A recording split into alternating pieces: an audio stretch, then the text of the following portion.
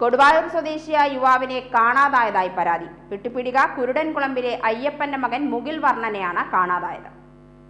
കഴിഞ്ഞ അഞ്ചാം തീയതി ഞായറാഴ്ച രാവിലെ പതിനൊന്ന് നാൽപ്പത്തിയഞ്ച് മുതൽ കൊടുവായൂരിൽ വെച്ച് മുകിൽ വർണനെ കാണാതായതായി കുടുംബം പോലീസിൽ പരാതി നൽകി. പ്രമേഹ രോഗവും അപസ്മാരവുമുള്ള മുകിൽ വർണൻ ഇടയ്ക്കിടെ വിഷാദത്തിലാകാറുണ്ടെന്നും വീട്ടിലുണ്ടായ നിസ്സാര വഴക്കിന്റെ പേരിൽ വീട്ടിൽ നിന്നിറങ്ങിയതാണെന്നും പോലീസ് പറഞ്ഞു. മുപ്പത്തിരണ്ടുകാരൻ മുകിൽ വർണനെ കാണാതാവുന്ന സമയത്ത് പച്ച നിറത്തിലുള്ള ചെക്ക് ഷർട്ടും ചാരനിറത്തിലുള്ള ട്രാക്ക് സൂട്ടുമാണ് ധരിച്ചിരുന്നത്. ഇയാളെക്കുറിച്ച് വിവരം ലഭിക്കുന്നവർ പുതുനഗരം പോലീസ് സ്റ്റേഷനിൽ അറിയിക്കേണ്ടതാണ്. U T V news Palakkad.